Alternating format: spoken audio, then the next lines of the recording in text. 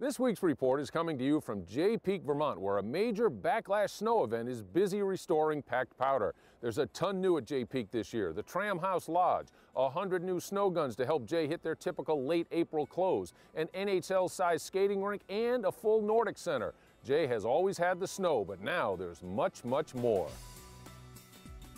Snowmakers will continue to make gains as we move into the weekend, and the trail counts will be on the rise at Ski Sundown and Mount Southington in Connecticut, and surfaces will be softening as well. Catamount and Butternut have bounced back very nicely this week. The snowmakers and groomers have been hustling round the clock. Jiminy Peak is back in good shape, and they have a demo day set for Sunday. Gunstock in New Hampshire's trail count is climbing once again. The mountain crews have done a tremendous job of rehabbing the surfaces this week at Windham and at Gore in New York. Mount Snow and Okemo in Vermont have very powerful snowmaking systems, and they've been maxed out since Tuesday. A moist upslope flow has kept the flakes flying much of the time at Killington Stowe and here at Jay Peak. Out west, Sun Valley and Jackson Hole have both had a snowy week, and some late week snow will help at Telluride. Brighton and Snowbird have had more than a foot and a half this week, and packed powder rules. It's also been a snowy week at Alta and Park City, and their conditions are outstanding right now with plenty of packed powder.